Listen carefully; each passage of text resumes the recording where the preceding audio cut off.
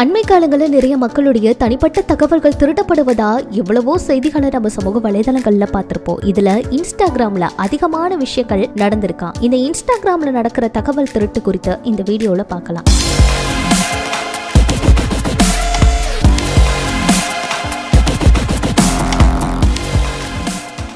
இன்ஸ்டாகிராமில் ஒரு வீடியோ பதிவை பதிவிடும் போது பொதுவாக அதனை பார்க்குறவங்க லைக் பண்ணுறவங்க ஷேர் பண்ணுறவங்க அப்படி எண்ணிக்கைகள் வந்து ஃபாலோவர்ஸ் எண்ணிக்கையை பொறுத்து அதிகமாக இருக்கும். ஆனால் சில சமயங்களில் நீங்கள் போடுற வீடியோக்கள் ஏற்கனவே எங்கேயோ பதிவிடப்பட்டவை என உங்களோட மின்னஞ்சலுக்கு அனுப்பப்படலாம். அது காப்பிரைட் அப்படிங்கிற நோட்டீஸ் மாதிரி இருக்கலாம். இவ்வாறு அனுப்பப்படும் நோட்டீஸ்கள் பல சமயங்களில் உண்மையான நிறுவனத்துக்கிட்ட இருந்து வருதா அப்படிங்கிறத நீங்கள் பார்க்கணும். அப்படி கட்டுப்பாட்டு அமைப்பு கிட்ட இருந்து அனுப்பப்படுறதே கிடையாதுன்னு சொல்கிறாங்க அதுக்கு பதிலாக ஹேக்கிங் செய்யும் சில தனிப்பட்ட குழுக்கள் வந்து இதை அனுப்பி அதுல இருந்து இந்த மெயில்ல வந்துட்டு நிறைய விஷயங்கள் பண்றாங்களாம். ஒரு லிங்க் வந்து அதுல இருக்கும் அதை நீங்க கிளிக் பண்ணி உள்ள போனீங்கன்னா உங்களுடைய login ID password user name இதெல்லாம் நீங்க கொடுக்கும்போது உங்களுடைய தகவல்கள் திருடுவதற்கான வாய்ப்பு ரொம்பவே அதிகமா இருக்கு. இதனால இப்படியெல்லாம் தாக்குதல் ரொம்பவே அதிகமா நடந்து வருது. இந்த காலகட்டத்துல அதிகமா சமூக வலைதளங்கள்ல திருட்டு ரொம்பவே நடைபெறுது. இந்த மாதிரி காப்பிரைட் சிக்கல்கள் எல்லாம் இருக்கா அப்படின்னு உங்களுக்கு வந்து இன்ஸ்டாகிராம்ல இருந்துதான் இருக்கா அப்படிங்கிற மெயிலை நீங்கள் கரெக்டாக வந்து செக் பண்ணணும். அது இல்லாமல்